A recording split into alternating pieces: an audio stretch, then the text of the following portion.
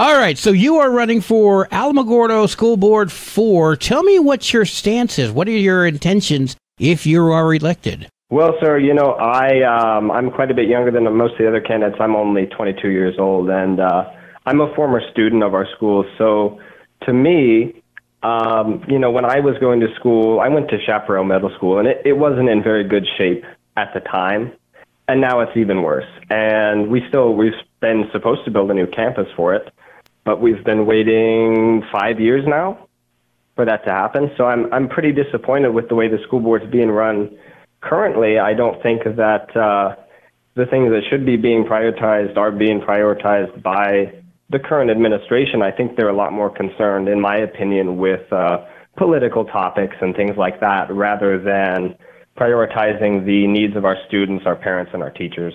Now, you mentioned your age, uh, 22.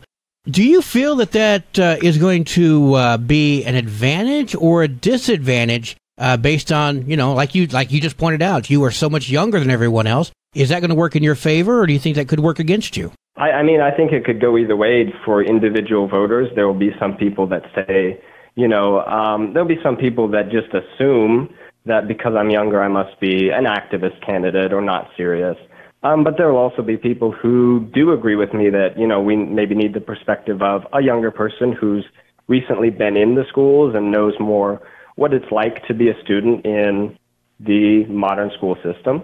So I think it'll it'll depend on individual voters, and I hope to be out there talking to people and and having discussions with the voters to uh, you know get my point across. All right. How does someone get some more information about you?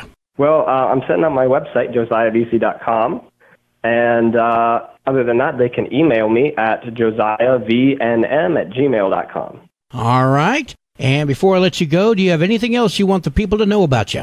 Well, sir, I would uh, just say thank you, first of all, for calling me. And um, I hope that I am able to uh, earn everyone's vote. I do think it's something that a candidate should have to earn. So for anyone who's interested, please do contact me and let's uh, have a discussion about the issues affecting our school system.